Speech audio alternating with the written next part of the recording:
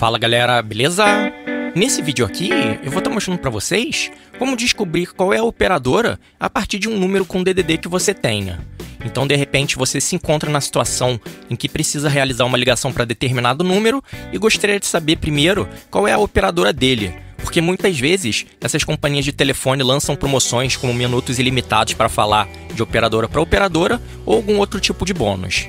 Então, para você estar tá descobrindo essa informação, o que você vai fazer é acessar qualquer navegador aí no seu computador ou celular. Aí você vai no Google e digita aqui na busca é, o título desse vídeo que você está assistindo. Eu vou colocar aqui como descobrir a operadora de um número. Eu vou dar um buscar aqui no Google e ele vai listar para gente uma série de serviços que fazem isso para gente. Então, já nessas duas primeiras ocorrências que ele mostra aqui, a gente já consegue resolver o nosso problema. Então, tem esse primeiro site aqui que é qualoperadora.net e tem esse segundo site aqui, que é o consultaoperadora.com.br. Então, se algum desses serviços estiver offline, você pode tentar o outro e vice-versa. Eu vou simplesmente entrar nesse primeiro link aqui. Então, aqui nesse site, é, você vai preencher o seu número com o DDD aqui nesse campo então o DDD é o código de área único para cada estado do Brasil.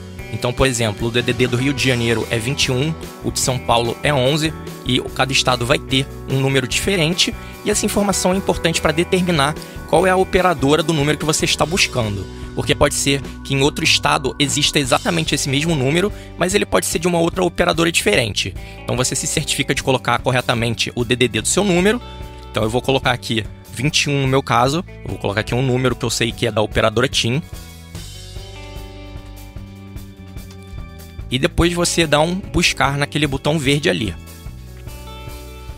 Que ele vai informar para você qual é a operadora e também o estado é, daquele número que você inseriu, beleza? A partir daquele DDD que você preencheu ali em cima. Então é isso, galera. Espero que eu tenha ajudado vocês aí e um abraço.